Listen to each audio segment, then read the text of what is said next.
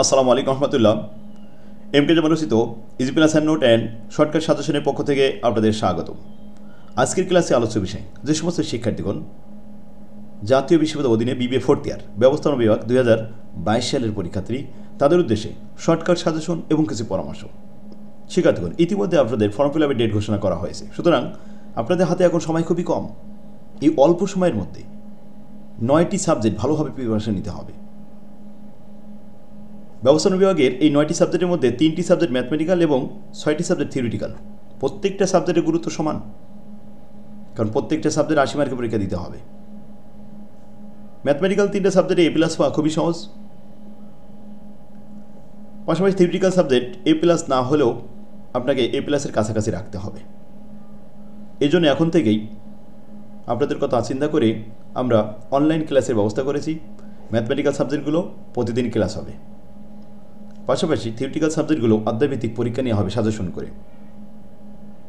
এভাবে যদি এখন থেকে মডেল টেস্ট দিতে থাকেন, তাহলে চূড়ান্ত পরীক্ষায় আপনি অনেক ভালো রেজাল্ট করবেন, ইনশাল্লাহ। তো আজই যোগাযোগ করুন আমাদের সাথে। স্ক্রিন যে নাম্বারটি দেখতে পাচ্ছেন, এই নাম্বারে হোয়াটসঅ্যাপ আছে। মেসেজ করতে পারেন, সরাসরি ফোন দিতে পারেন। আজকে আমরা আলোচনা করব আপনাদের সবথেকে গুরুত্বপূর্ণ একটি সাবজেক্ট ইনভেস্টমেন্ট ম্যানেজমেন্ট এই সাবজেক্টে এ প্লাস পাওয়া খুবই সহজ, কারণ এই সাবজেক্টে আছে একটি শর্টকাট সিলেবাস যে সিলেবাসে আছে মাত্র নয়টি অধ্যায়। এই নয়টি অধ্যায়ের মধ্যে দুইটি অধ্যায় হান্ড্রেড পার্সেন্ট থিওরি আর সাতটি অধ্যায় ম্যাথমেটিক্যাল। ভালো ফলাফলের জন্য প্রথমে আপনাকে ম্যাথমেটিক্যাল অধ্যায়গুলো, যে অধ্যায়গুলো ম্যাথ আছে, এইগুলো আমাকে সিলেক্ট করতে হবে। যেমন এক নম্বর আর নয় নম্বর হান্ড্রেড পার্সেন্ট থিওরি। দুই থেকে শুরু করে আট পর্যন্ত এই সাতটি অধ্যায় সব ম্যাথ। এখান থেকে আপনার আটটি প্রশ্ন আসবে বি পার্টে আর সি পার্টে থাকবে আটটি প্রশ্ন। সেখান থেকে চয়েস করতে হবে মাত্র পাঁচটি অঙ্ক করতে হবে। তো আটটার ভিতরে পাঁচটি অ্যান্সার করতে হবে। ম্যাথমেটিক্যাল প্রশ্ন যদি সলভ করা যায়, তাহলে সহজে এ প্লাস হয়ে যাবে। আর ম্যাথগুলো সহজে শেখানোর একটা অভিনব কৌশল আমি আবিষ্কার করে দিয়েছি ফর্মেট আকারে ম্যাথ শিখতে হবে। ফর্মেটটা কি? এক জাতীয় অঙ্কগুলো এক জায়গায় করে রাখা আছে। এই একই জাতীয় অঙ্কগুলো এক জায়গায় থাকলে আপনি যে কোনো একটা অঙ্ক যখন শিখবেন, তখন সহজে অন্য অঙ্কগুলো অ্যান্সার করতে পারবেন। অঙ্ক শেখা মানে অঙ্ক প্রথমে আমাদেরকে চিনতে হবে। অঙ্ক চেনার একটা সহজ উপায়। তো একই জাতীয় ম্যাথ যখন থাকবে, এরকমভাবে একটা অধ্যায়তে হয়তো তিন তিন প্রকার বা চার প্রকার ম্যাথ থাকে। তো চারটা নিয়ম আলাদা করে দিলাম। তিনটা নিয়ম আলাদা করে দিয়ে, আলাদা করে যখন এক জায়গায় করা থাকে, ছাত্রদের জন্য সহজ হয়ে যায়। কয়েকটা বোর্ড প্রস্ত মুখস্থ করে গেলে ভালো ফলাফল করা যায় না। কারণ সহজে মনে রাখা যায় না। কিন্তু যখন ফর্মেট আকারে খুব সুন্দরভাবে শিখে যাবেন, তখন যে কোনো জটিল প্রশ্ন আপনি নির্ভুল অ্যান্সার করে আসতে পারবেন। তো আসুন আমরা শর্টকাট সাজেশন করেছি। এই সাজেশন বই প্রত্যেকটা আলাদা আলাদা সাজেশন বই আছে। এখান থেকে আমরা সাজেশনগুলো দেখে আসি। দেখেন, চূড়ান্ত সাজেশন। এক নম্বর অধ্যায় hundred percent math hundred percent theory এক যারা থিওরি লিখতে অভ্যস্ত, তাদের জন্য এই অধ্যায়টা খুবই গুরুত্বপূর্ণ। আমি যে থিওরিগুলো লিখে দিয়েছি, সহজ ভাষায়, সাবলীল ভাষায়, একবার সে পড়লেই সহজে লিখতে পারবেন। তো সারা বইয়ের প্রস্ত পড়া লাগবে না। এখান থেকে প্রবলেম নাম্বার দুই, তিন, পাঁচ, আট, নয়, দশ, বারো। ছোটো ছোটো প্রশ্ন। বি পার্ট এবং সি পার্ট এর মধ্যে আসবে। আমাদের এই বইয়ের পেজ নাম্বার তিন, চার, ছয়, দশ, এগারো, তেরো, পনেরো, ষোলো, সতেরো, উনিশ, বিশ পেজে পাবেন। বাইশ পেজে আছে এটা। এই ছিল আমাদের এক নম্বর অধ্যায় সাজেশন বইটা আপনার কাছে থাকবে। এই বইয়ের পেজ নাম্বার এগুলো। ক্লিয়ার এবার আসেন দুই নম্বর অধ্যায়। এখানে আমাদের ম্যাথমেটিক্যাল টার্ম আছে এবং পাশাপাশি থিওরিটিক্যাল আছে।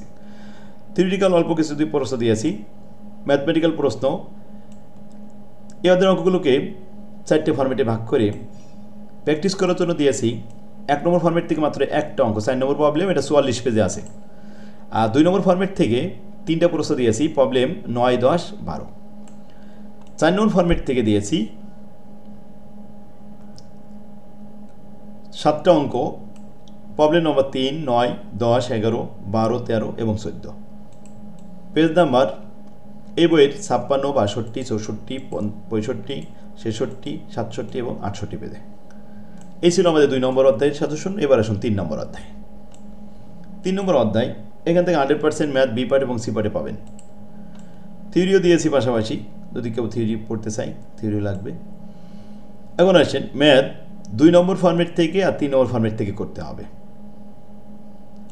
দুই নম্বর ফর্মেটের প্রবলেম নম্বর তেইশ, আঠাশ, চৌত্রিশ এবং পঁয়ত্রিশ। আর তিন নম্বর ফর্মেটের প্রবলেম দুই, চার এবং আট। এই তিনটা অঙ্ক। এগুলো আছে একশো দশ, বারো, সতেরো, উনিশ, বাইশ, পঁচিশ পেজে এইগুলো আমাদের তিন নম্বর অধ্যায়ের সাজেশন এবার চার নম্বর অধ্যায় আছে ভ্যালিউশন খুবই সহজ একটা অধ্যায় ভ্যালিউশনের ম্যাথমেটিক্যাল গুরুত্বপূর্ণ এই অধ্যায়ের বি পার্ট এবং সি পার্ট দুই জায়গায় ভ্যালিউশন অঙ্ক আসবে। প্রবলেম নম্বর ফর্মেট একের পাঁচটা অঙ্ক দিয়েছি। প্রবলেম উনিশ, বিশ, বাইশ, চব্বিশ, তিরিশ। দুই নম্বর ফর্মেট থেকে ছয়টা অঙ্ক দিয়েছি। প্রবলেম নম্বর আট, সতেরো পঁচিশ ছাব্বিশ, সাতাশ এবং আঠাশ। এগুলো আছে আমাদের এই বইয়ের। একশো আটচল্লিশ পেজ উনপঞ্চাশ পেজ একশো পঞ্চাশ পেজ একশো বাহান্ন, সাতান্ন পেজ এই। এবার আসেন পাঁচ নম্বর অধ্যায় পোর্টফোলিও খুবই সহজ একটা অধ্যায়। এখান থেকে বি পার্ট সি পার্ট দুই সেট প্রস্তুত থাকবে। তো থিওরিটিক্যাল প্রস্ত আছে ম্যাথমেটিক্যাল প্রস্ত আছে। ম্যাথমেটিক্যাল প্রস্ত দেখেন এখান থেকে গণিত করতে হবে আমাদের এক নম্বর ফর্মেটের মাত্র দুটো অঙ্ক প্রবলেম তিন আর পাঁচ। পেজ একশো তিরাশি, চুরাশি। আর দুই নম্বর ফর্মেট থেকে মাত্র পাঁচটা অঙ্ক। ফর্মেট এই প্রবলেম নম্বর আট, নয়, দশ, এগারো, চোদ্দ। চার নম্বর ফর্মেট থেকে একটা, ছয় নম্বর ফর্মেট থেকে একটা, সাত নম্বর ফর্মেট থেকে তিনটা। সাত নম্বর ফর্মেটের অঙ্কগুলো গুরুত্বপূর্ণ। সাত, দশ এবং তিন নম্বর প্রবলেম এগুলো পাবেন দুইশো বারো এবং তেরো ও পনেরো পেজে এরপরে আসেন ছয় নম্বর অধ্যায়। ছয় নম্বর অধ্যায়ের ম্যাথমেটিক্যাল দেখেন। থিওরিটিক্যাল তো এটা। এ হলো ম্যাথমেটিক্যাল এক নম্বর ফর্মেট থেকে চারটে অঙ্ক। প্রবলেম ছয়, দশ, ষোলো এবং সতেরো। প্রত্যেকটা ফর্মেটের এক বা দুইটা অঙ্ক করলেই বাকিগুলো এমনিতেই পারা যাবে। একই নিয়মের। শুধু ফিগারটা চেঞ্জ থাকে আর নামটা একটু পরিবর্তন থাকে। এই। এটা পেজ আছে দুইশো চুয়াল্লিশ চুয়াল্লিশ, সাতচল্লিশ, তিপ্পান্ন। এবার দুই নম্বর ফর্মেটের একটা অঙ্ক, নয় নম্বর প্রবলেম এটা দুইশো সাতান্ন পেজে পাবেন। আর তিন নম্বর ফর্মেট থেকে দুটো অঙ্ক, সাত আর আট। চার নম্বর ফর্মেট থেকে দুটো অঙ্ক, এক এবং নয়, আর ছয় নম্বর ফর্মেট থেকে তিনটে অঙ্ক। পাঁচ, ছয়, সাত। সাত নম্বর অধ্যায় চলে আসেন লভ্যাংশ। খুবই সহজ। ঠিক আছে দেখুন ফিনান্সিয়াল ম্যানেজমেন্টের সাথে ইনভেস্টমেন্ট ম্যানেজমেন্টের চারটে অধ্যায় মিল আছে। সেটা হলো, এই যে ইনভেস্টমেন্টের আমরা ছয় নম্বর অধ্যায় করতেছি এইটা ফিনান্সিয়ালের তিন নম্বর অধ্যায়তে আছে। আর ইনভেস্টমেন্টের এই যে সাত নম্বর অধ্যায়, এটা ফিনান্সিয়াল ম্যানেজমেন্টের চার নম্বর অধ্যায়ের সাথে মিল আছে। এই সাজেশনগুলো এখানে দিয়ে দিলাম সাত নম্বর অধ্যায়ের। আট নম্বর যে অধ্যায়টা আছে এটা ফিনান্সিয়াল ম্যানেজমেন্টের পাঁচ নম্বর অধ্যায়ের সাথে মিল আছে। আর ইনভেস্টমেন্টের যে দুই নম্বর অধ্যায়, এই দুই নম্বর অধ্যায়টা দেখেন একটু। এই অধ্যায়টা ছয় নম্বর অধ্যায় ফিনান্সিয়াল ম্যানেজমেন্টের ছয় নম্বর অধ্যায়ের সাথে মিল আছে দুই নম্বর অধ্যায়। ক্লিয়ার চারটে অধ্যায়ের সাথে ফিনান্সিয়াল এবং ইনভেস্টমেন্ট মিল আছে। আট নম্বর অধ্যায়ের যে প্রবলেমগুলো আছে, এখানে বেশি অঙ্ক দিইনি। তিন নম্বর ফর্মেট থেকে মাত্র একটা অঙ্ক দিয়েছি আর চার নম্বর ফর্মেট থেকে বাকি পাঁচটা অঙ্ক দিয়েছি। এই ছয়টা অঙ্ক করলে এনাফ নয় নম্বর অধ্যায়টা হান্ড্রেড পার্সেন্ট থিওরি